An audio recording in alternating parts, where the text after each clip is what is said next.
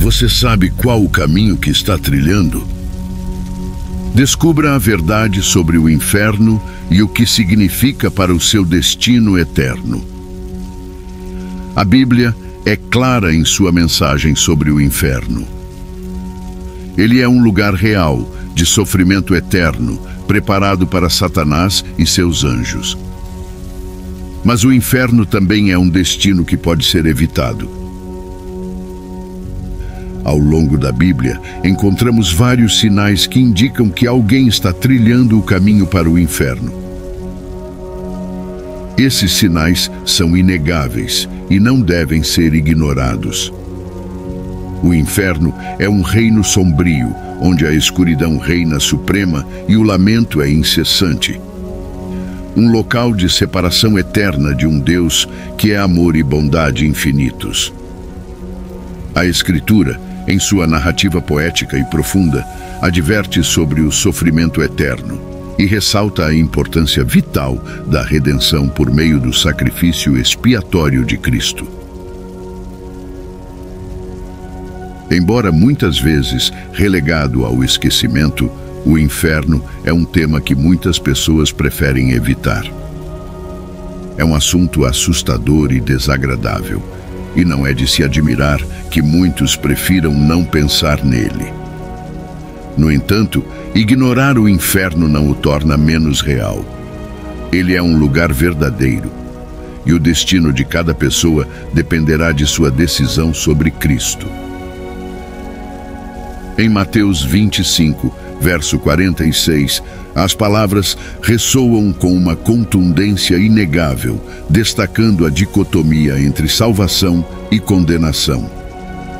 E irão estes para o castigo eterno, mas os justos para a vida eterna. Essa crença cristã enfatiza a urgência de aceitar o sacrifício de Cristo como a única senda para a salvação.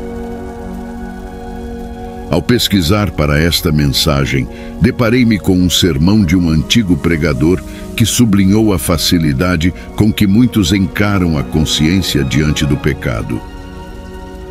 Enquanto alguns são profundamente tocados pelo Espírito de Deus diante de seus pecados, outros vivem à beira do destino eterno, sem se importar, brincando com a seriedade do assunto. O primeiro sinal de que alguém está trilhando o caminho para o inferno é a injustiça no coração, um estado de ser em oposição à natureza santa de Deus. Essa injustiça pode manifestar-se de várias maneiras, incluindo o amor ao mundo e suas coisas, o orgulho e a arrogância, a ira e o ódio, a cobiça e a ganância, a mentira e a traição Outro sinal crucial é a falta de arrependimento, pois o arrependimento é o reconhecimento de que pecamos contra Deus e a determinação de mudar nosso comportamento. Sem arrependimento, continuamos vivendo em pecado e o pecado nos separa de Deus.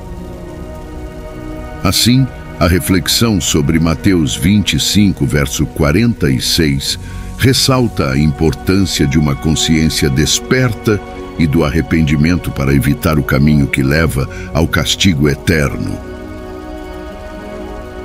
A Bíblia nos alerta sobre os perigos do caminho para o inferno. Se queremos evitar esse destino, precisamos aceitar a Cristo como Salvador e nos arrepender de nossos pecados. Você está trilhando o caminho para o inferno? Se você ama o mundo e suas coisas, se é orgulhoso e arrogante, se está cheio de raiva e ódio, se é cobiçoso e ganancioso, se mente e trai, então você está trilhando o caminho para o inferno. Arrependa-se de seus pecados e aceite a Cristo como Salvador. É a única maneira de evitar o inferno e alcançar a vida eterna. O inferno é um destino terrível e devemos fazer tudo ao nosso alcance para evitá-lo. A única maneira de fazer isso é aceitar o sacrifício de Cristo por nossos pecados. Quando cremos em Jesus, recebemos o perdão dos nossos pecados e somos adotados como filhos de Deus. Isso nos garante um lugar no céu e não no inferno. A Bíblia nos incentiva a enfrentar a realidade eterna do inferno, uma realidade que, segundo ela, pode ser evitada.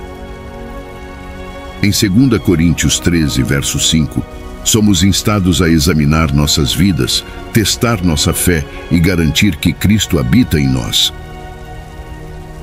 Há sinais observáveis, segundo a Bíblia, de que alguém está trilhando o caminho para o inferno. O primeiro sinal é a injustiça no coração, conforme destacado em 1 Coríntios 6, versos 9 a 10. Não se trata apenas de cometer erros, mas de um estado de ser em oposição à natureza santa de Deus. A gravidade desta questão não pode ser subestimada. O chamado à mudança é vital não podemos tratar o pecado levemente, pois, segundo a Escritura, a injustiça é um sinal claro de estar no caminho errado. Jesus é a única porta para a salvação, e ignorá-lo é escolher o destino errado. Examine-se, arrependa-se e abrace a esperança em Cristo para ser transformado da injustiça para a justiça, da morte para a vida. Esteja certo de que você não está trilhando pelos portões enganosos que levam à destruição eterna. É importante entender que o inferno não é apenas um lugar de punição, mas também de separação de Deus. Quando estamos no inferno, estaremos separados da fonte de todo amor, bondade e alegria. Isso é algo que deve nos causar grande temor não queremos passar a eternidade separados de Deus. Se você está preocupado com o seu destino eterno, não hesite em pedir ajuda. Há muitas pessoas que podem ajudá-lo a entender a verdade sobre o inferno e a fazer a escolha certa. Não espere mais. Tome uma decisão hoje mesmo e evite o destino terrível do inferno.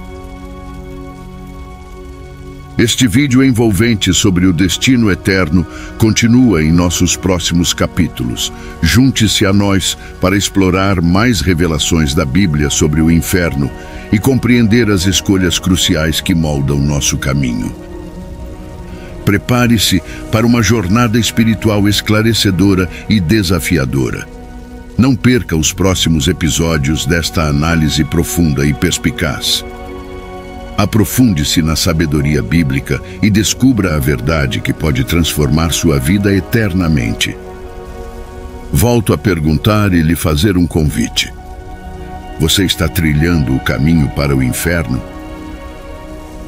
Se você ama o mundo e suas coisas, se é orgulhoso e arrogante, se está cheio de raiva e ódio, se é cobiçoso e ganancioso, se mente e trai, então você está trilhando o caminho para o inferno.